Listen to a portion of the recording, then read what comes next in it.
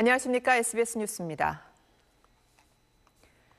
윤석열 대통령 당선인의 대통령직 인수위원회 위원장과 부위원장 인선이 오늘 발표됩니다.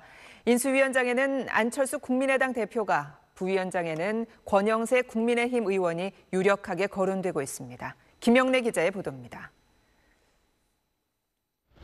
윤석열 대통령 당선인은 오늘 대통령직 인수위원회 위원장과 부위원장 인선을 발표합니다. 인수위원장엔 안철수 국민의당 대표를, 부위원장엔 선대본부장을 맡았던 권영세 국민의힘 의원을 유력하게 검토하는 걸로 전해졌습니다.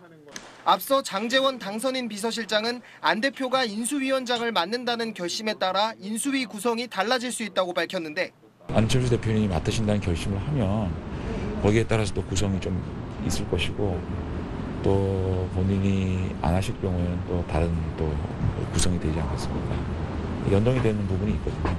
어제 오후 안 대표 측과 만나 위원장직 수락을 전제로 인수위 구성 등에 대해 논의한 걸로 전해졌습니다.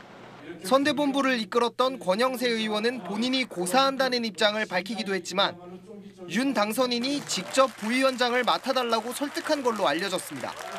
윤 당선인은 다음 주 중엔 인수위 인선을 마무리하고 오는 21일에 현판식을 하고 인수위원회를 공식 출범할 계획입니다.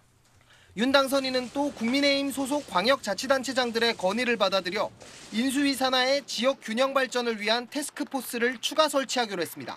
당선인 측 핵심 관계자는 민주당 소속이 대부분인 광역자치단체장들도 인수위에 지역 현안을 전달할 창구가 필요하다며 TF 설치는 협치를 위한 당선인의 의지가 담긴 것이라고 설명했습니다. SBS 김영래입니다.